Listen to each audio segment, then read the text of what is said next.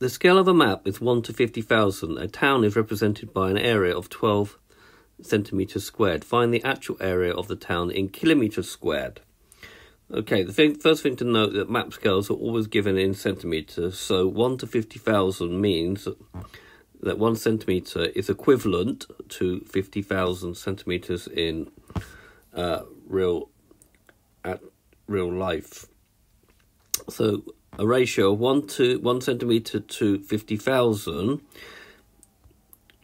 If I want to convert that into kilometers, then I'll need to divide that fifty thousand by hundred centimeters and a thousand meters. hundred centimeters because in each meter there's hundred centimeters, and then there's a thousand meters in each kilometer which gives a scale of 1 centimetre to 0.5 centimeters. Now, one way to do this problem because is just uh, to draw an area of 12 centimetres squared as a 4 by 3 or you could do 2 by 6 or 1 by 12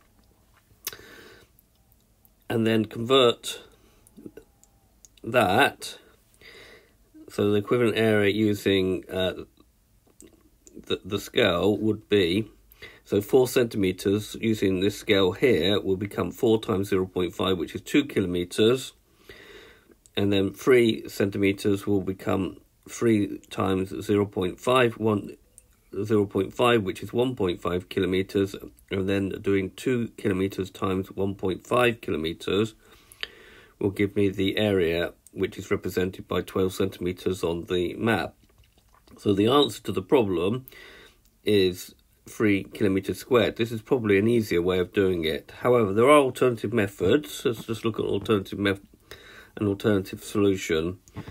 So a map scale of 1 centimeter is 50,000 centimeters.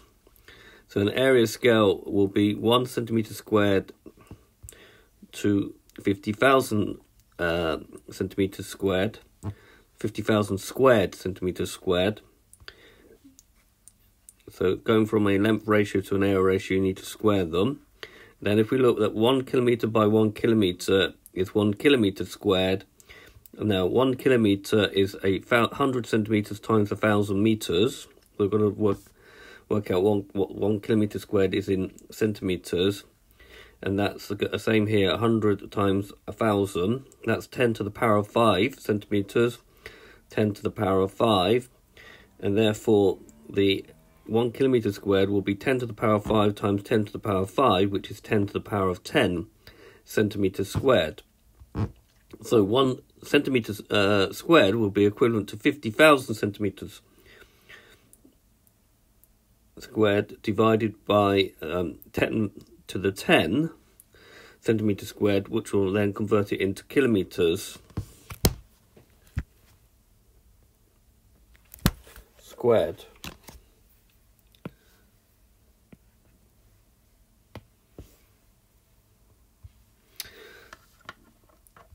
Which means that one centimeter squared will be 0.5 kilometers squared. Now, if we do map to actual in, in, in for area, so the area ratio is 1 to 0.25, and then I want the uh, this to go up to 12 because I want to know what 12 is. So that means I multiply that one by 12.